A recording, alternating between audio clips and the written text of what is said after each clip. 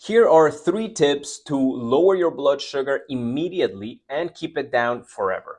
Contrary to popular belief, you have full control over your blood sugar levels. You just have to stay consistent with certain habits that I'm going to tell you right now.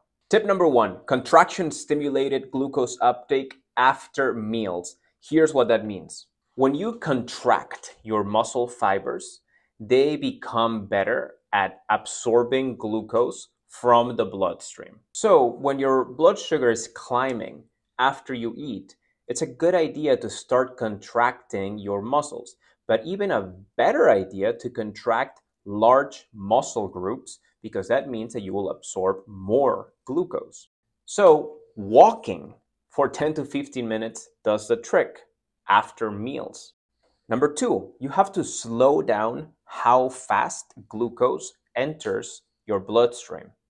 So you need to create a barrier between the intestinal wall and the blood.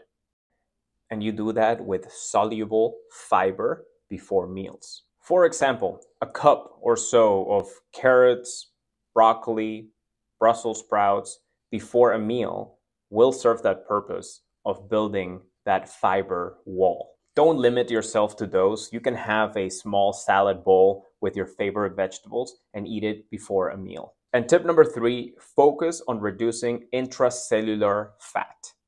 What does that mean? I'll tell you.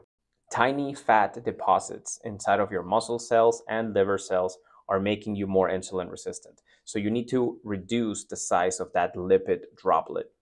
This is done through primarily exercise, proper nutrition, and some supplements can help. We have free guides that you can download that explain all of this. So go ahead and click on our picture here or here, and you're gonna see a link to click so you can download all of our guides and our recommended supplements.